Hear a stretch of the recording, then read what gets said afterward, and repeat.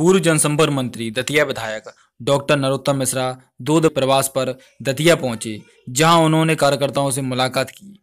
इस मौके पर पूर्व जनसंपर्क मंत्री दतिया विधायक डॉक्टर नरोत्तम मिश्रा ने सुबह पीताम्बरा पीठ पहुंचकर पूजा अर्चना की एवं तत्पश्चात दतिया की जनता से रूबरू हुए। तो वहीं उनके साथ में भाजपा कार्यकर्ता, भाजपा प्रतिनिधि और युवा मोर्चा कार्यकर्ता मुख्य रूप से साथ में उपस्थित रहे।